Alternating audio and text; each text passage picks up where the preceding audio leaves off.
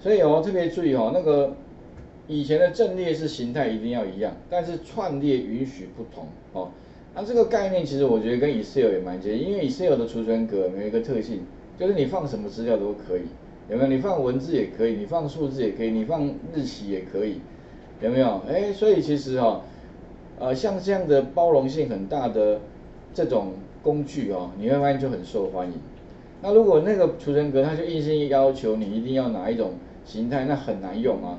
所以以前的像 S S 资料库哦，它变成说你要放资料进去之前，你就一定要先定义好，你没定义好，很抱歉不行。那有一种可能就是你定义的形态跟未来进来的资料不不一致的话，那当然你就会产生怎么样？来写入错误，有没有？那不行。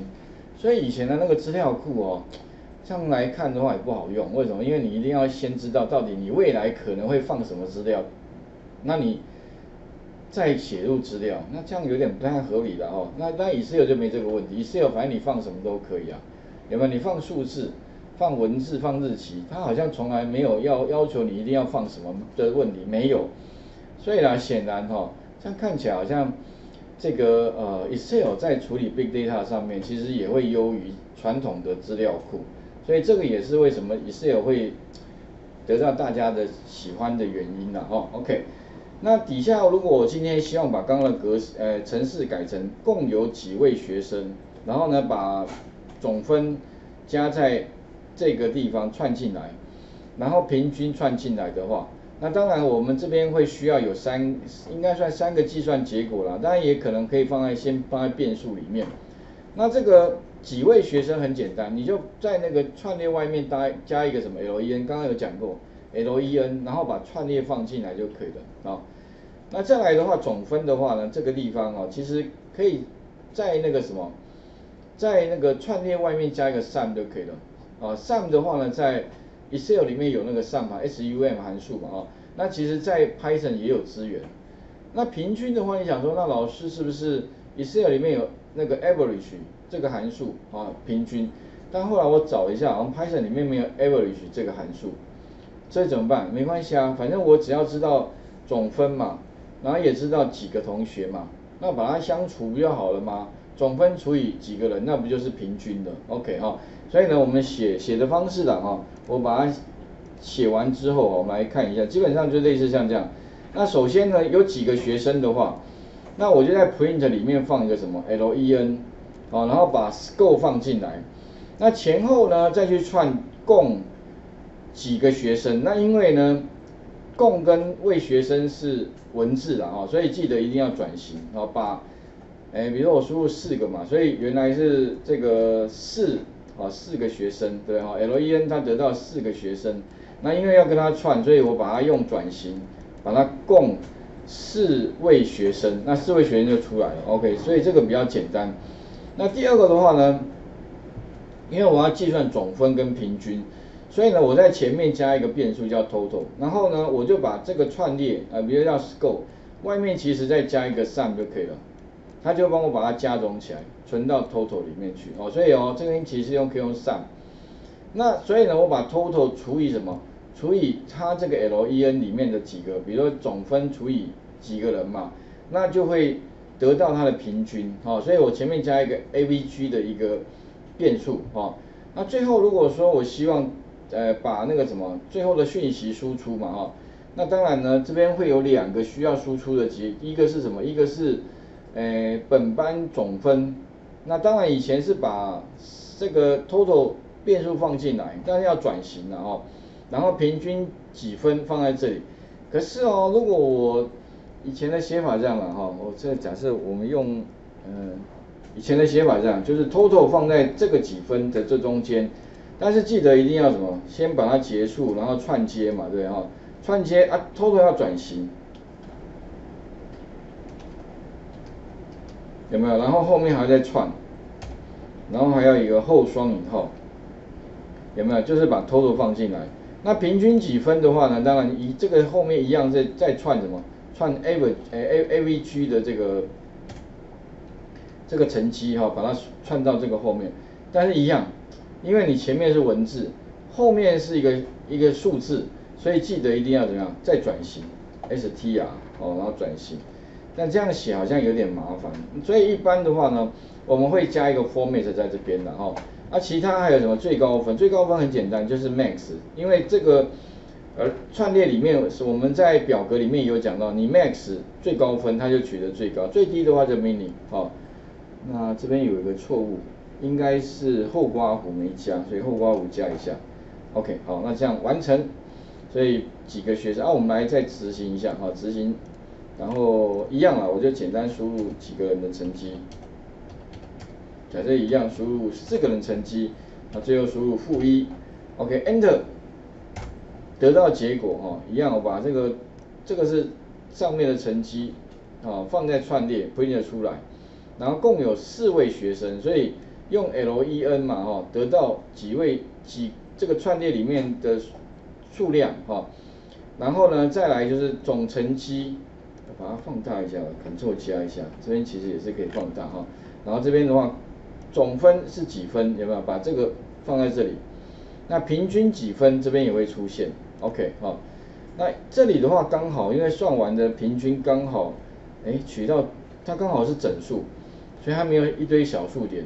那当然，未来如果说啦，我希望取到小数点的第二位的话，啊啊，特别注意啊，这边的程式撰写啊，有没有总分几分，平均几分的话，那我是建议哈，可以把它改成用那个什么，用那个 format 函数来写。我还记得吧？这个 format 也蛮重要，因为你要做资料的格式化，不用 format 哦，哎，其其实。会有很多问题，尤其是你变数特别多的时候，像这边有两个了哈，那如果要把它改成像我云端上面写的，我是这样，你就不用转型了，直接在这个地方哈加一个大刮弧就可以了。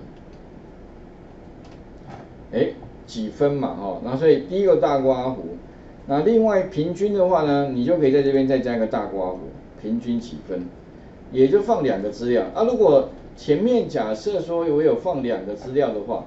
那后面记得就点 format，要给两个参数，哦，所以你这边打一个 for，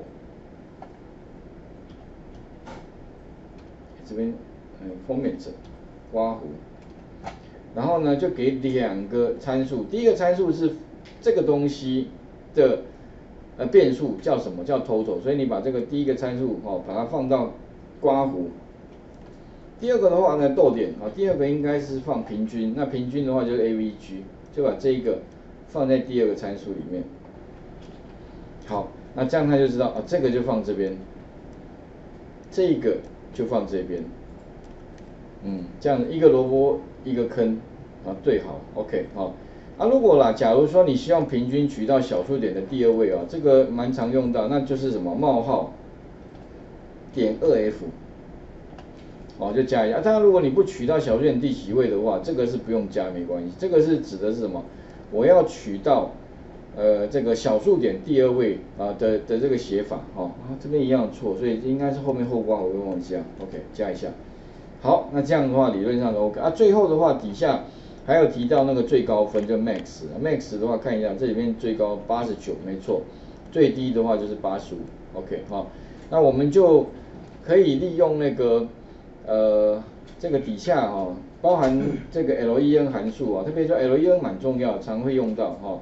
然后其他像 sum 函数啊，可以把这个串列做计算。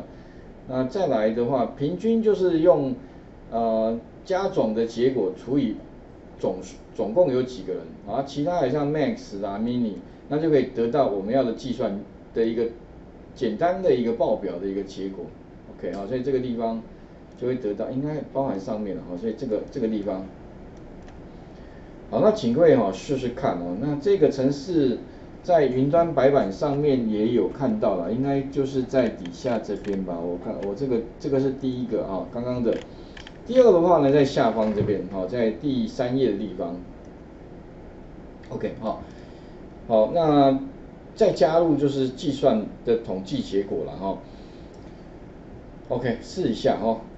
那待会我们再来看哦，因为这边的话是自己逐个逐个输入啊。那自己输入的话有个缺点，就很花时间呢。如果一个班上假设是现在一个班假设二十五个人好了，变老师要一直 K 成绩挺麻烦，而且 key 成绩有个有个呃，就是说人工输入哦，我觉得很容易打错哎，对那如果像我其实像呃每个学期末，我最最怕一件事，要交成绩的时候，我怕打错成绩，因为学生成绩只要打错，哇，而且你成绩送出去哦，那就非常非常麻烦啊，因为要改成绩这件事哦，哇，那真的是还要还要上公文，还要开会，还要报告说为什么会有错误，所以哦，理论上我在打成绩的时候，一定要非常非常小心，每次就是。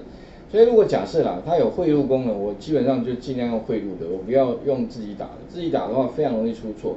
所以呢，以这一题来看哦，假如说我希望后面哦这些成绩哦，我不要用打的。那假如说刚好教务处他已经有给我一个档案，里面的话就是学生的成绩，但是我有个需求哦，我总不会笨笨的，我还要把它列印出来，然后再把它贴进去。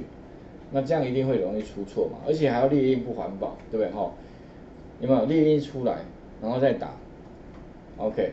不过了，我发现好像这个职场上很多人呢，就是这样的，再列印然后再打上去，然后又打错，对，很多哦我觉我觉得啊，怎么会？你直接汇进来就好了嘛？因为他不会，OK，他只能这样做，而且资料一多的话，他甚至还找工工读生来帮忙 key。OK，哦，这学，但如果你会汇入的话，那这事情就简单了。所以待会我们可以再来改一下，就是我可能会有一个成绩，那这个成绩就不是自己输，而是一个档案。那这个档案在外部哦，那我要怎么样把外部的档案读到里面来，然后自自己帮我塞到那个这个串列里面，然后我自动就把统计结果统计完毕了。哎，这样感觉会比较流畅一点。可是后面会有一个功能需求，如何读取外部的档案？OK，甚至呢读取外部的 Excel，哎，所以如果 Excel 可以直接读进来，那你就可以做后续的统计分析，然后再把结果吐出去。吐出去如果也是 Excel 的话，哇，那会更好。不过我们按部就班哦，档案比较简单，Excel 比较难。我们难的部分我们就慢慢一步一步啦。今天的重点就是先档案，再 Excel。OK，啊，如果这个可以做到的话，我想应该以后你工作上就很好用了，Python 真的就可以真的发挥它最最佳的战力了。好，如果可以跟 Excel 做衔接的话，OK，好，试一下，把刚刚这个地方稍微熟悉一下，因为你在 Python 要延伸到 Excel，一定要串列了，有点像一个桥梁的角色。如果你串列不熟，那后面都不用讲了。我发现很多同学都卡在串列。连基本的串列的一个架构都不太熟啊，就容易出错。OK，试一下。那待会我们来看如何读档啊，跟如何存档。哎，独档跟存档，我觉得这个也是拍一张很厉害、很方、很简单的一个方法哦。然后程式很短的，哦，试一下。